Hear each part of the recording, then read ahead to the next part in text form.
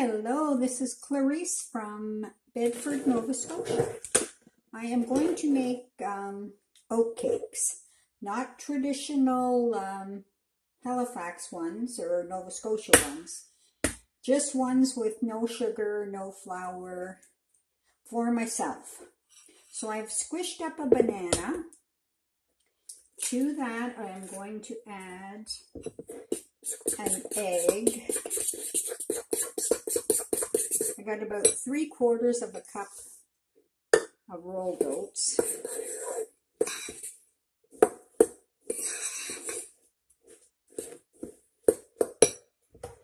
I was making uh, African stew and it called for coconut milk, but because I only made half the recipe, I have half the milk left over.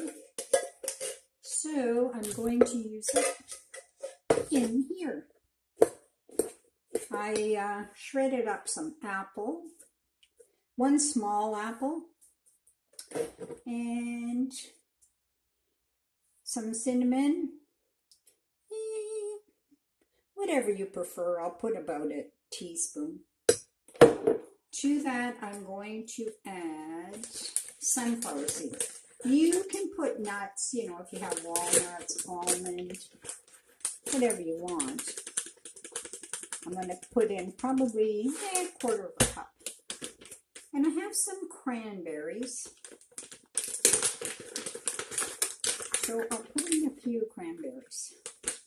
Now all I'm going to do is mix this concoction all up and then I'm going to let, whoops, I'm going to let it, it'll thicken up as the oats absorb the coconut milk.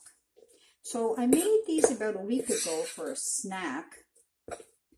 I didn't have coconut milk. I used uh, almond milk. So maybe like half a cup. You know, it there's it's supposed to be thick.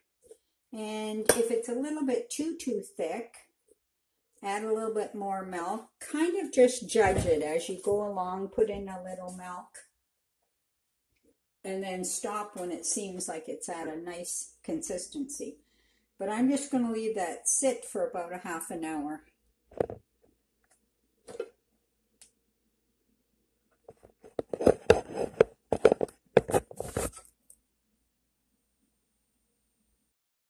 So here they are, 15 minutes.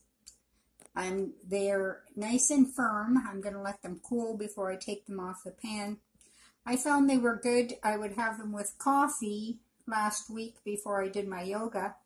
And they kept me full until I had my breakfast. Hope you try them. So I changed my uh, oatmeal mixture to a pot because it was a little bit too gooey for me. So I added about another quarter cup of oats.